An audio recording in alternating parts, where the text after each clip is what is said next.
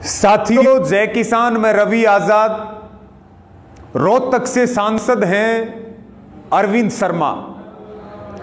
बेहद शर्मनाक, आपत्तिजनक और बीजेपी के चरित्र को जग ज़ाहिर करने वाला बयान उनका आया है। हरियाणा के मुख्यमंत्री से लेकर के और केंद्र में बैठे तमाम भाजपाई और इनके सहयोगी बार बार किसान आंदोलन पर बदजुबानी करते हैं, उनको जवाब भी देते हैं। जवाब मांगते हैं, होता नहीं है। साथियों, सांसद अरविंद शर्मा ने कहा कि आँख निकाल लेंगे और हाथ काट देंगे। यानी कि ये हरियाणा को तालिबान समझते हैं।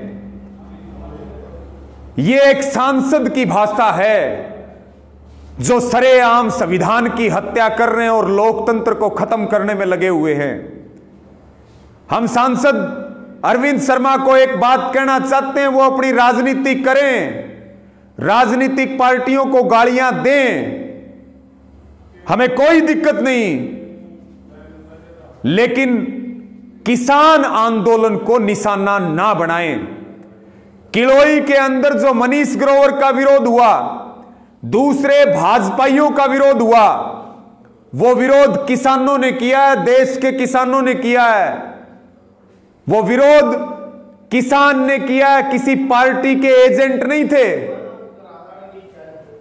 आप अरविंद शर्मा जी ज़रूर भाजपा के दलाल हैं।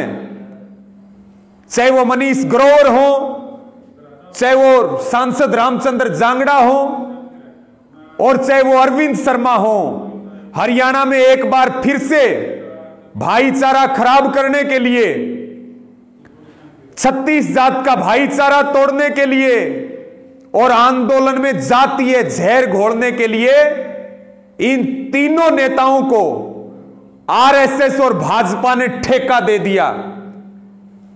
ये जिन समाज से आते हैं, वो हमारे सम्मानित समाज हैं और वो इस आंदोलन के साथ खड़े हैं। यह आंदोलन एक जाति का नहीं है, एक धर्म का नहीं है। यह आंदोलन सब वर्गों का है, सब जातियों का है, सब धर्मों का है।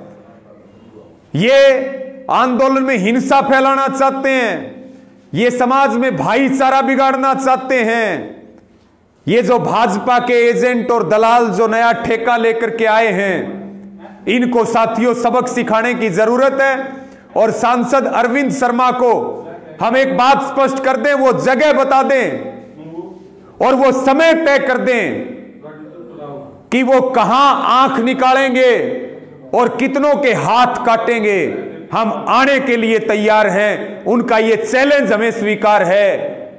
इस तरह की धमकी किसी भी कीमत पर बर्दाश्त नहीं की जाएगी। आंदोलन छत्तीस जात का है। आंदोलन जमीर और ज़मीन को बचाने का है। आंदोलन फ़सल और नस्ल को बचाने का है।